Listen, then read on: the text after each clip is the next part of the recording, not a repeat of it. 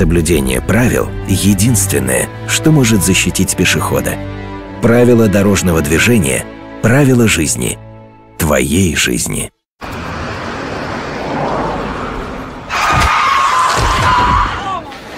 Я работаю травматологом, и я хочу рассмотреть, что происходит с телом человека буквально за долю секунды, когда его сбивает автомобиль, двигающийся со скоростью 70 км в час и имеющий тормозной путь 50 метров. Даже если машина оборудована системой АБС, то первый удар произойдет на скорости около 46 км в час. Удар бампера по коленным суставам рвет плоть и связки. Череп со всей силы ударяется о лобовое стекло. Ломается шея, череп раскалывается, и мозг пешехода превращается в месиво. Буквально через секунду тело пешехода падает на асфальт и в 70% случаев уже бездыханным. Если начать тормозить с 60, а не с 70 км в час, то есть отличный шанс вовремя остановиться, а пешеход отделался бы только сильным испугом.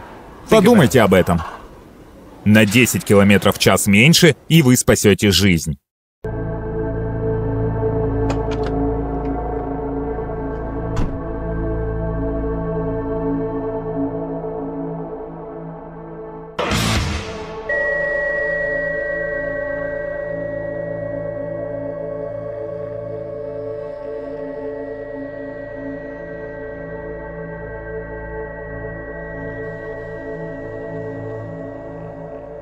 Стань заметнее. Сохрани свою жизнь.